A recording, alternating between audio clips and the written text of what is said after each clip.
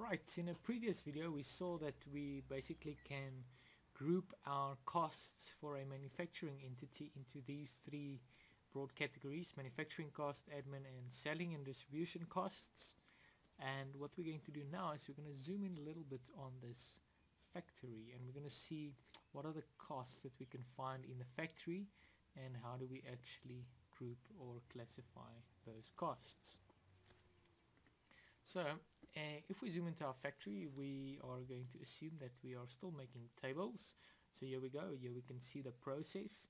We can see our wood coming in, the receiving division. Then we're going to cut up our wood. We're going to put it all together. We're going to add some varnish and finally we're going to package our uh, semi three-dimensional tables into some nice polystyrene and boxes etc. Right, so the question we're trying to answer for a manufacturing entity is what is the cost that goes into making one of these finished tables? What is the cost of a finished product? And there's three um, headings that we're going to look at, uh, direct material, direct labor and overheads. They make up the cost of manufacturing of a finished product and we can see that our overheads also includes three categories, indirect labor, indirect material, and then other overheads. So you'll see that it's important that we can distinguish between direct material and indirect material, direct labor and indirect labor because the indirect labor and material forms part of my overheads. So let's just uh, go through the uh, cost items one by one and let's go across the assembly line in and see what costs we find and where they fit in. So if we start with our direct material, um, the first direct material that we find in this process, and it should be quite obvious, is wood.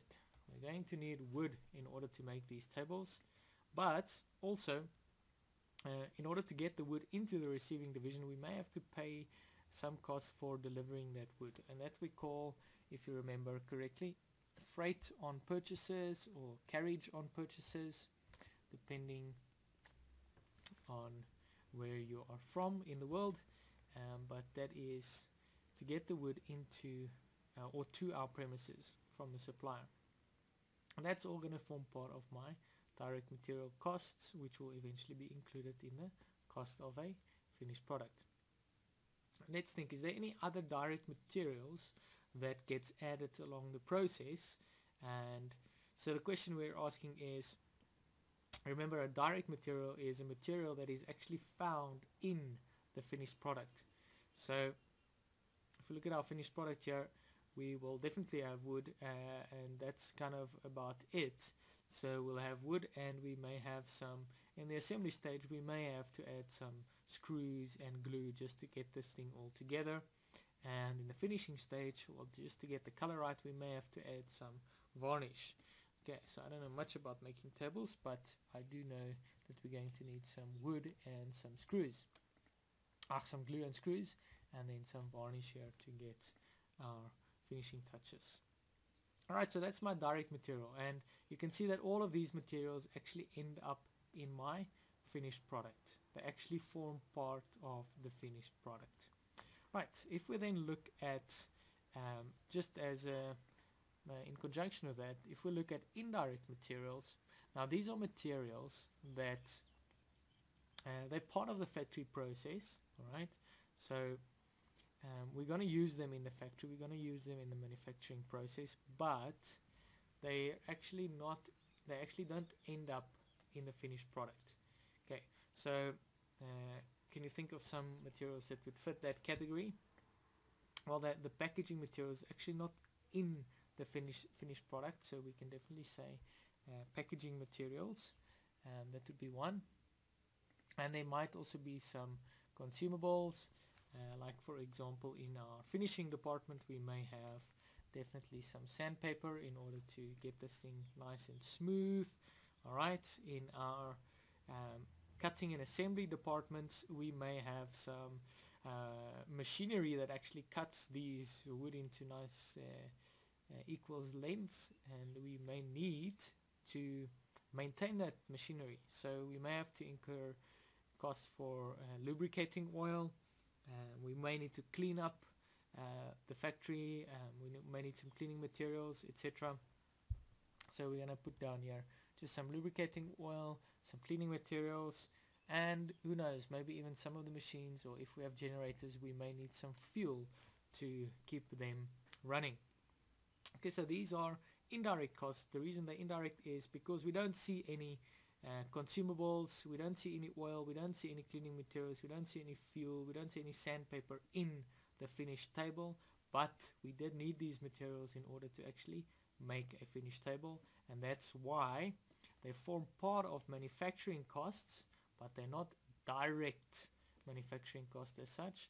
They are indirect manufacturing costs, and thus they form part of my overheads category. Alright, so that's labor. Let's quickly turn our attention to the direct labor. Well, that was material, sorry. Let's now go for labor. And our receiving division, um, let's just think of who might be working in this factory. We may have a number of guys. The guy actually receiving the wood, there might be a security guard just to check that everything happens um, uh, under supervision and that nothing gets stolen. Or, and we may have a guy actually operating these cutting machines and um, we may have a guy putting the table together, a guy finishing the table. We may have a factory supervising supervisor, sorry, and just overseeing this whole process. And uh, who else might there be? We may have some cleaning staff that is, is going uh, uh, and cleaning up, etc. So where do they all fit in? Let's start with our security guard. Um, well, is when we look at uh, uh, direct labor, we're looking at those labor costs that for people that are actually working directly on the finished product. So because our security guard is not working directly on the finished table, he will actually, the cost that we pay to him will actually not be part of direct labor. It will form part of my indirect labor. So there we go, my security guard. And um,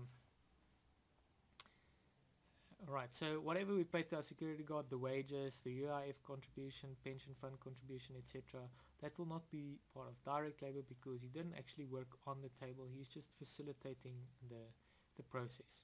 The same with my factory foreman because he's not actually doing any specific work on any of uh, uh, or at any of these stages. He's rather overseeing all the other workers.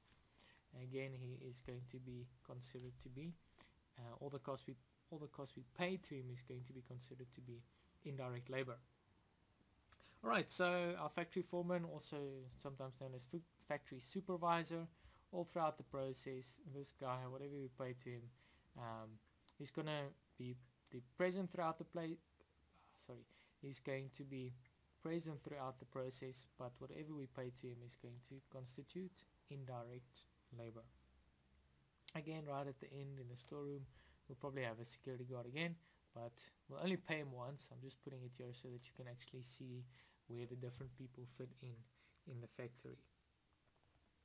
Alright, uh, and then lastly, uh, one more person that will be considered indirect labor is our person, if you look at our indirect materials, the person actually maintaining and cleaning our machines, that will be our cleaner or our cleaning staff and um, they or our maintenance staff even, we could even include your maintenance staff. Alright. Right, they will all be considered indirect labor. So they're not working directly on the product. So who will then be direct labor? while the guy actually operating the cutting machines to cut these boards he will be considered to be a, a, a all the costs we pay to him will be considered direct labor costs the guy assembling let's just call him the assembler and then finally we can uh, consider the guy finishing the tables as the finisher. It sounds like a, a movie title.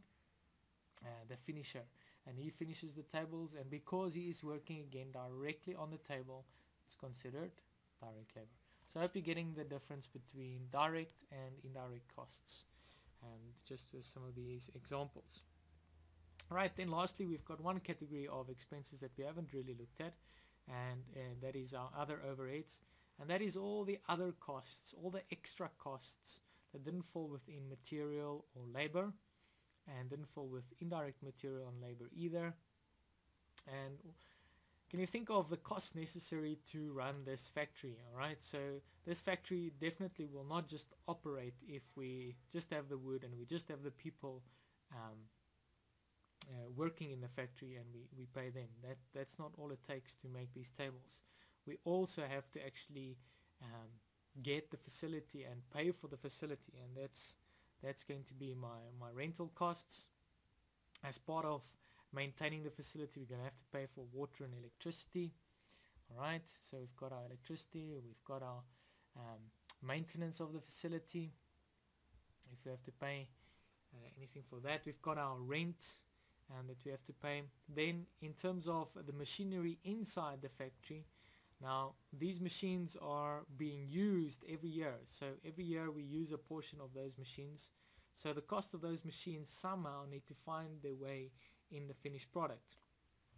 However we need to be careful here because let's say we've got this massive big cutting machine and uh, it's maybe going to last us uh, 10 years or 6 to 10 years and it cost us let's let's just take a guess 50,000 rand for that machine.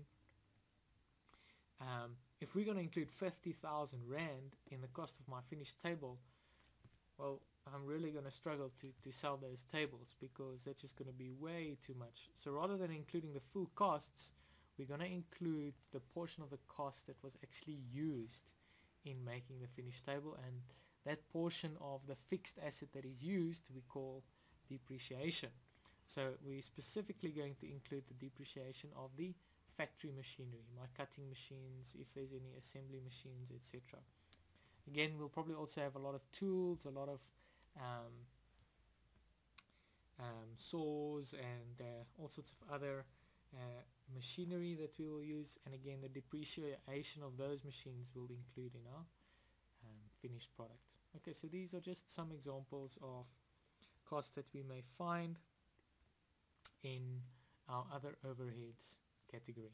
Right, so I hope you get an idea.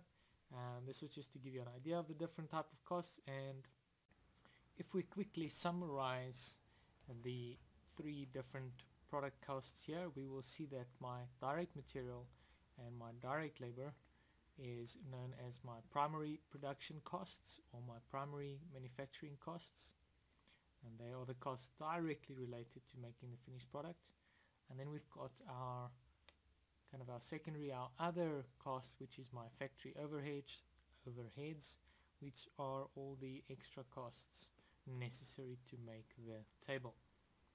Now these three together is known as the total manufacturing or production cost of the finished product. Sometimes just for interest sake the direct labor and the overheads is known as conversion costs because it is actually converting this raw material into a finished good.